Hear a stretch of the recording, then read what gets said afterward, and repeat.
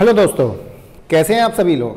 ठीक है? Very good दोस्तों, आज की इस वीडियो में लाभ और हानि, जैसे हम बोलते हैं प्रॉफिट एंड लॉस ये सिंगल ओ है डबल नहीं है, ठीक है? कटिंग थोड़ा गलत लग गया था कटिंग है ये। ठीक है?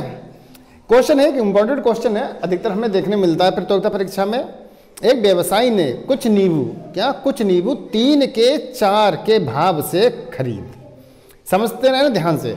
जो उसने क्रय किया, खरीदा, यानी परचेस की, यानी कॉस्ट प्राइस ठीक? तीन के चार भाव, यानी तीन रुपए के चार नींबू खरीदे। सही है? खरीद कर उसने बेचे कितने? तीन रुपए के दो दो नींबू उसने बेच दिया यानी क्या कर दिया उसने? विक्रय कर दिया सेल कर दी। तो कहना उसे लाभ क्या होगा? क्या होगा? लाभ क्या होगा? तो सबसे पहले क्रय मूल्य क्या हो जाएगा इसका? ध्यान से देखना। क्रय मूल्य। भाई, क्रय मूल्य क्या हो जाएगा? कितने खरीदा? तीन रुपए के चार नींबू खरीदे। सही है? तो क्रय मूल्य तीन बट्टे चार। और विक्रय मूल्य क्या हो गया? विक्रय मूल्य। ठीक? सेल करा। तीन के हिसाब से तीन रुपए के दो नींबू उसने सेल कर दिए। ठीक? क्रय मूल्य कितने का हो गया?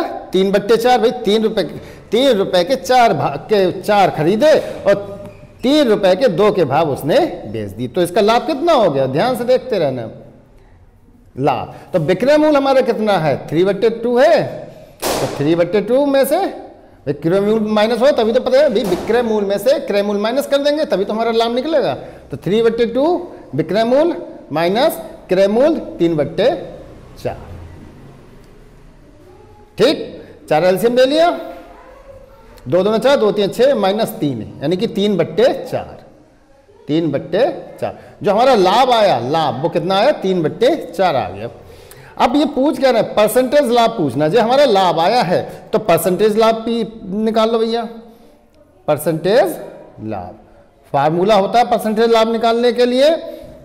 विक्रय मूल्य क्या? निकलने निकलने लाभ सॉरी लाभ इंटू हंड्रेड क्या? लाभ इंटू हंड्रेड बट्टे क्रय मूल्य. क्या? क्रय मूल्य, ये फार्मूला होता है। क्रय मूल्य. भाई परसेंटेज लाभ निकालने लिए क्या फार्मूला होता है? लाभ इंटू हंड्रेड अपॉन क्रय मूल्य. ठीक? तो ध्यान से देखिए। लाभ हमारा क्या हो गया? तीन बट्टे चार। तो three upon four into hundred upon क्रय मूल्य three upon four three upon four ठीक? देखिए साहब, इसे सॉल्व करते हैं, चलिए हम।